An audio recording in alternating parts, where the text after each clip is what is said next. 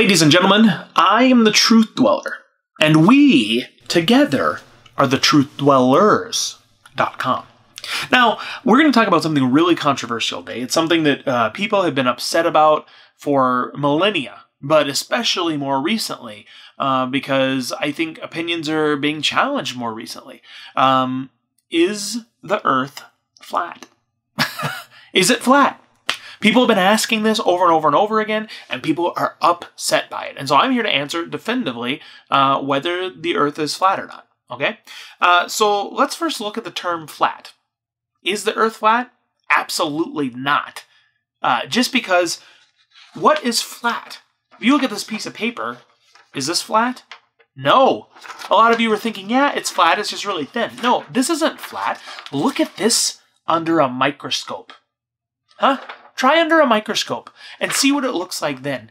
It's going to be hills and valleys of microanatomical particles, and it's not going to look flat to you. Okay? So nothing's truly flat. And so I think that's one of the problems that the flatties have. Oh, yeah, I called them flatties huh? Because they think, oh, well, we're just going to spew the flat term and uh, not really educate people about what exactly that means. And all of a sudden, people are upset with them, and they're upset that people are upset. Well, they're using the wrong terminology, okay? So if you're going to ask the question, is the Earth flat? Maybe try to find the right words first.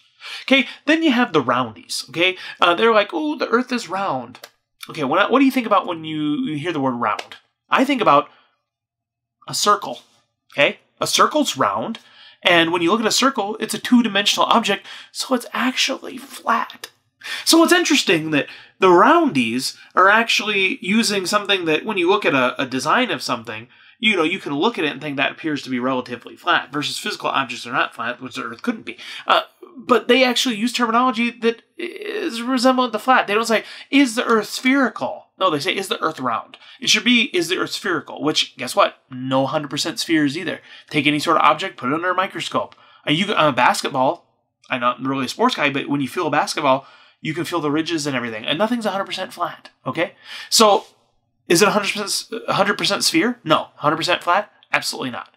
The real question you need to ask, the actual question that everybody wants to know, is does the Earth have edges? Okay? Does the Earth have edges? And the answer is a definitive yes. Now, I can only describe it the best way that I know how. Now, none of you are geologists, none of you are, you know, cartographers or mappers or sailors or pirates or any of those things to have looked at this stuff firsthand. Uh, none of you have been to space, likely, unless you're astronauts that are listening. And why you're listening to me, I don't know because uh, you know the truths that probably I don't know behind the scenes of all the various conspiracies. So uh, feel free to message me and let me know some of them, and maybe we'll have you on there. However, comma, here's the thing the best way I can describe it a donut. A filled donut. That's the best way I can describe what the Earth actually looks like, and uh, from a perspective that's outside of being physically on it. Now, I'm not getting it. This isn't like me trying to say, "Oh, the Earth is filled with liquid hot magma." Oh, yeah, it's got some lava inside of it, like a jelly-filled donut of raspberry filling or something. That's not the filled donut part. The reason I say filled donut is because it doesn't have a hole. Okay, it's just that shape. I mean, if it'd be weird to say just a regular donut because then you like that doesn't look like the Earth at all. No, jelly donut doesn't have any sort of hole in the middle. Okay and forget the filling. Now, that particular shape, okay, that is what the earth is like. Because you have quote unquote flat sides and then concave edges. Now, when you are on them, gravity will take you around and keep you on the bottom or the top side. Now, that could change and modify, uh, but it's definitely not spherical, okay?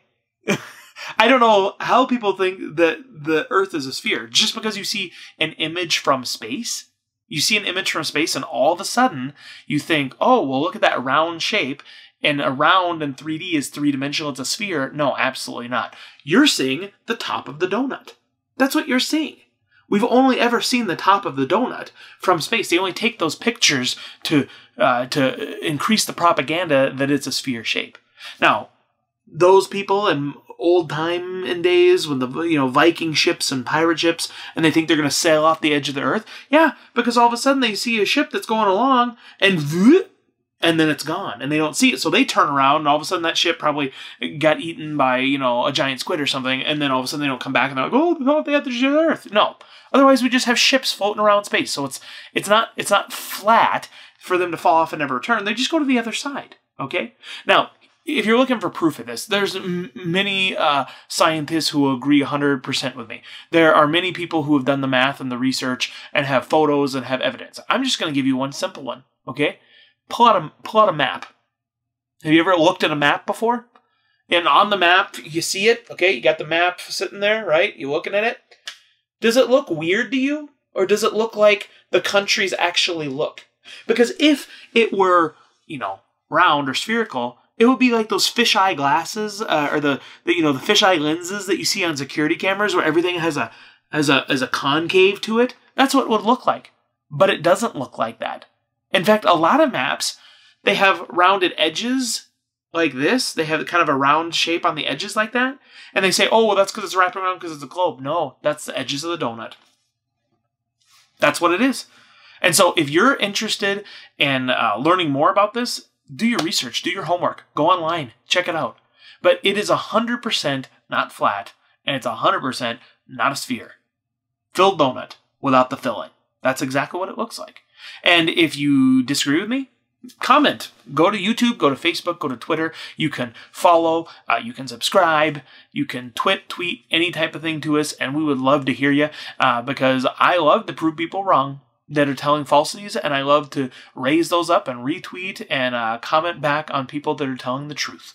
Okay, so if you're interested in supporting us, do any of those things, but you can also uh, support us financially. Uh, we have a store online. I'm not asking for a donation, I'm asking you for to buy some wearable truth. And whether it is, you know, we have Area 52 shirts, uh, they're kind of debunking the myth of, uh, you know, some of the stuff that's happening in the raid Area 51 right now. Uh, we've got, uh, you know, things about microwaves, we've got things about Yetis, we got all sorts of, of truths out there. And then you can wear those, it's got the website on and then you can support um, what we do by telling the world that we exist. Thanks for listening. I am the Truth Dweller, and together, you you, you, you, you, you, you, and I are the truth dwellers.com. And only we can spread the truth.